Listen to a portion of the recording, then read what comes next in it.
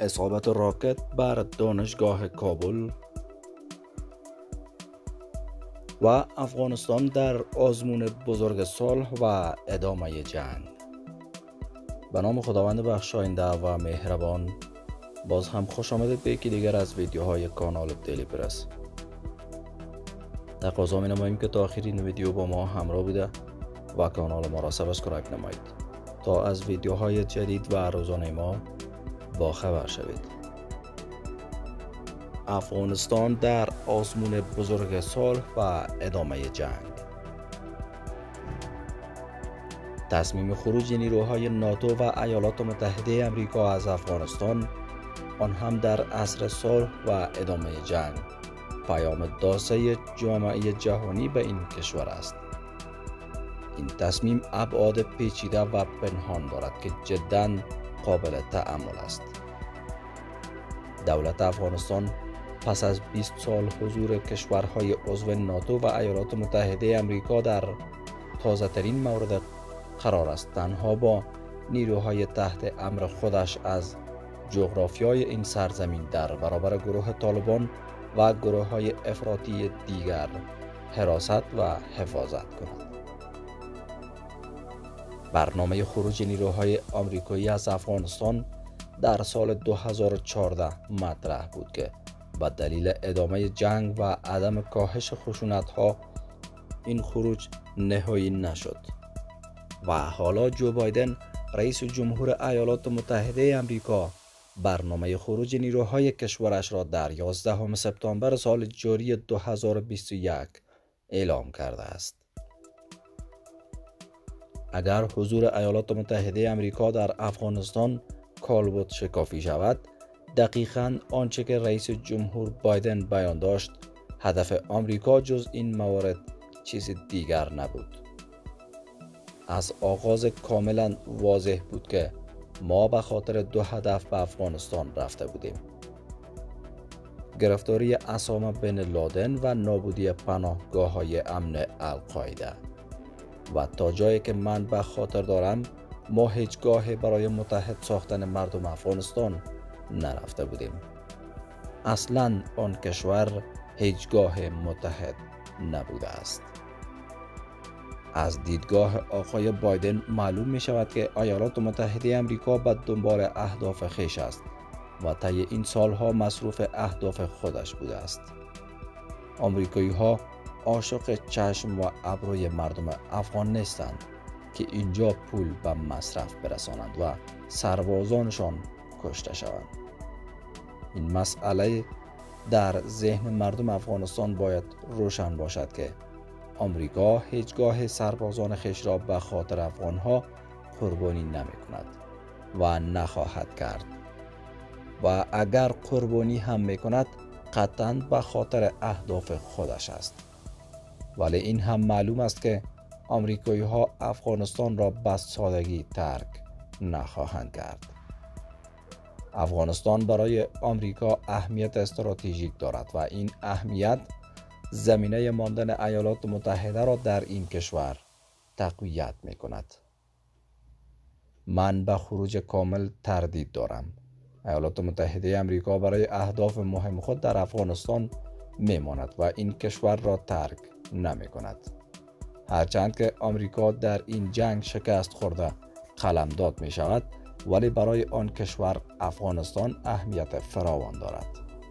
حالا فرضیه بر این شده است که ناتو و آمریکا از افغانستان یک جا خارج می شوند و این خروج عجولانه بدون اینکه وضعیت جنگ در افغانستان درک شود و با حکومت افغانستان مشورت و هماهنگی صورت گیرد چه نتیجه می تواند داشته باشد. کاملا واضح است که افغانستان در یک قدمی جنگ علیه خودی قرار دارد. ادامه گفتگوهای میان افغانی و برگزاری کنفرانس استانبول از موارد دلگرم کننده است که اکثریت افغان ها به نتیجه این گفتگوها دل بستند و گمان می‌برند که این گفتگوها برای افغانستان صلح را فراهم می کند و جنگ را به پایان می رساند.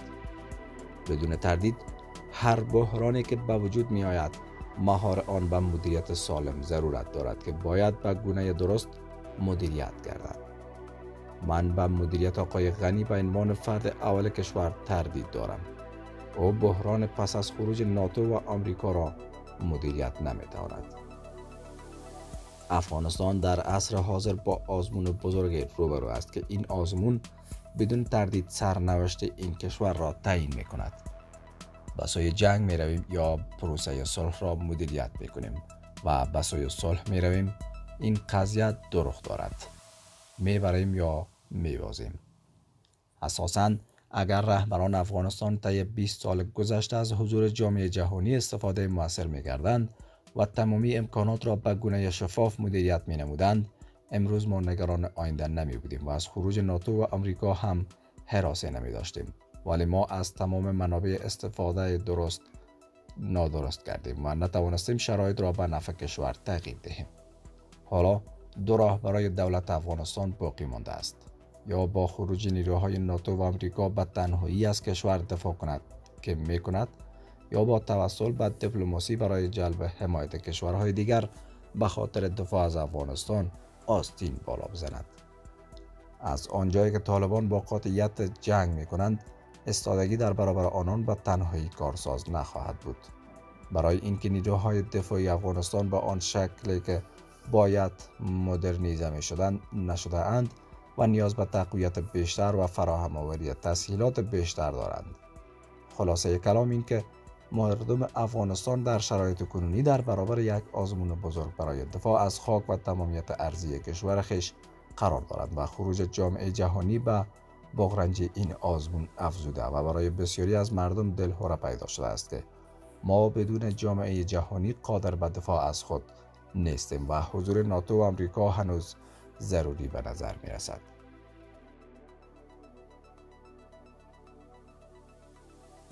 اصابت راکت به دانشگاه کابل منابع امنیتی تایید می کنند که یک فایر راکت به محوطه دانشگاه کابل اصابت کرده است. به قول یک منبع امنیتی این راکت حوالی ساعت یک روز یک شنبه 29 حمل در عقب دانشکده شرعیات دانشگاه کابل اصابت کرده است. این منبع به روزنامه 8 صبح گفت که اصابت این راکت به محوطه دانشگاه کابل تلفات و خساراتی در پی نداشته است. منبع می‌گوید که تاکنون محلی که این راکت از آن شلیک شده مشخص نشده است. این راکت از نوع بی ام یک بوده است. دانشگاه کابل در 12 اقرب سال گذشته هدف حمله دو عضو وابسته به گروه داعش قرار گرفت. در آن 22 تن کشته و 27 تن دیگر زخمی شدند. بیشتر قربانیان آن دانشجویان بودند. این حمله به مرکز ملی آموزش های حقوقی دانشگاه صورت گرفت. چندین تن در پیوند به این حمله بازداشت و دو تن از طراحان این حمله در محکمه ابتدایی و استیناف به اعدام محکوم شدند. با تشکر که تا آخر این ویدیو با ما همراه بودید. منتظر نظریات و پیشنهادات نیک شما هستیم تا ویدیوهای دیگر خدا یار و نگهدارتان اوقات خوش داشته باشید